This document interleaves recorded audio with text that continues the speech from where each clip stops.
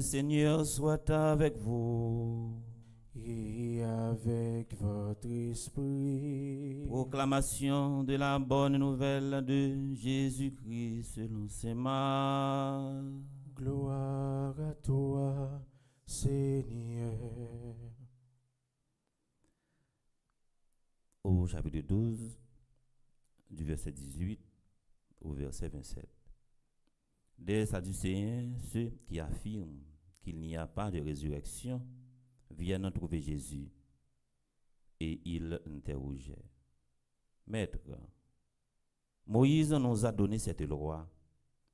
Si un homme a un frère qui meurt en laissant une femme sans aucun enfant, qu'il épouse la veuve pour donner une descendance à son frère.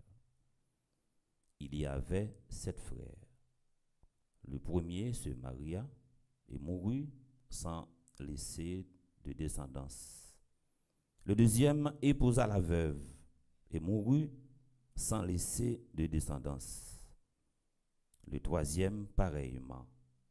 Et aucun des sept ne laissa de descendance.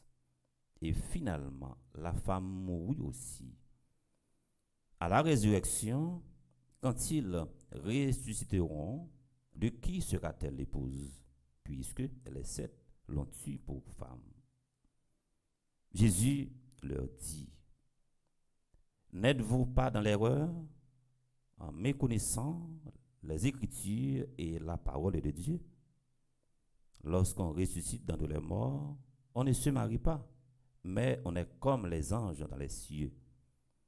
Quant à dire que les morts doivent ressusciter, n'avez-vous pas lu dans le livre de Moïse, au récit du buisson ardent, comme Dieu, comme Dieu lui a dit, moi, je suis le Dieu d'Abraham, le Dieu d'Isaac et de Jacob. Il n'est pas le Dieu des morts, mais des vivants. Vous êtes complètement